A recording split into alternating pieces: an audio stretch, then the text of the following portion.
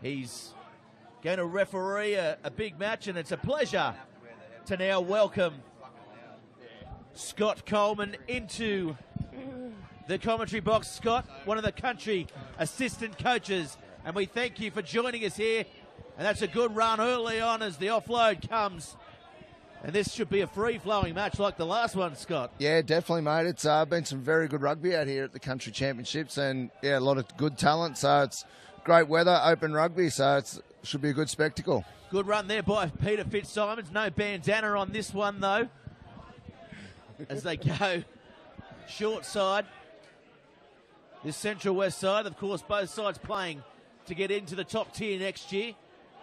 And who are the players we've got to watch out for here, Scott? Who are who's on your radar? Oh, mate, oh, everyone's in consideration, mate. Everybody, but uh, I like the look of the nine that's come off the bench for him. Oh, good for Central there. West. He's a uh, yeah, quite a good nine, nippy, and a pretty good service. And of course, the home side here, New England. We're playing at the University of New England. Great facilities here. Yeah, it's spectacular ground, and yeah, facilities are enormous. The uh, fullback for the New England side's quite a quick fella and goes quite well. Oh, the little chip comes in behind. New England do. Noon had a uh, a meeting, and then yeah, been here ever since. Six games of footy. Yesterday was a long day.